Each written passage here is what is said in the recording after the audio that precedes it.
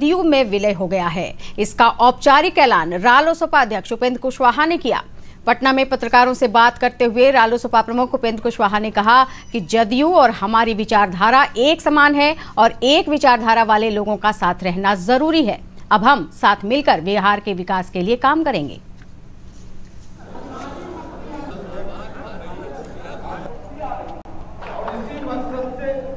जनता के आदेश का सम्मान करते पालन करते हुए आदरणीय नेता श्री नीतीश कुमार जी के प्रति पूरा सम्मान का भाव रखते हुए हमने फैसला जो औपचारिक रूप से आज लिया है, लेकिन चुनाव के बाद ही हमारे साथी और कहने लगे थे यही करना चाहिए।